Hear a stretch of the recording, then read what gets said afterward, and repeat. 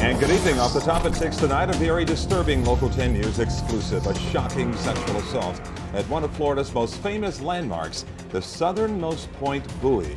It was all caught on camera. Someone was watching the web camera perched above the southernmost point when that attack happened. That witness immediately called Key West police. Let's get right to Local 10's Janine Stanwood live in Key West with the exclusive.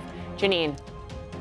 And prosecutors say that victim, a tourist, was sexually assaulted twice. The last time was right here at this very iconic landmark, which is very popular for tourists, all while that live webcam was streaming. And it turns out, you're looking at it live, that that video ended up being a very critical clue in getting that guy arrested.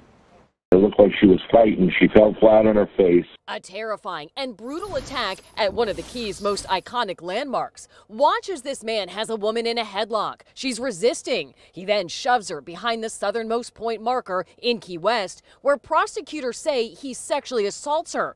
Minutes later, she stumbles and runs. He zips up his pants. But what he might not have known is there is a web camera right here, live streaming everything.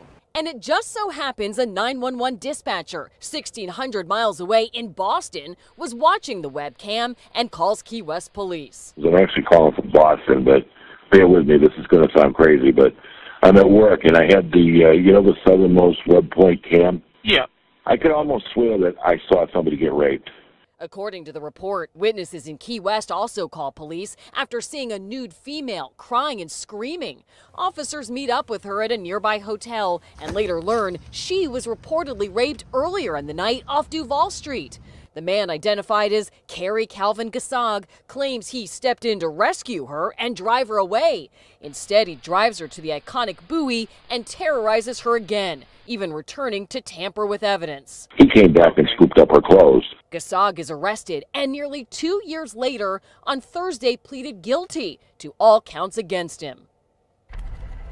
And so Gasag will be going to prison for 10 years, five years probation. That other suspect was also arrested. He has a hearing later this month. We're live in Key West. I'm Janine Stanwood, Local 10 News.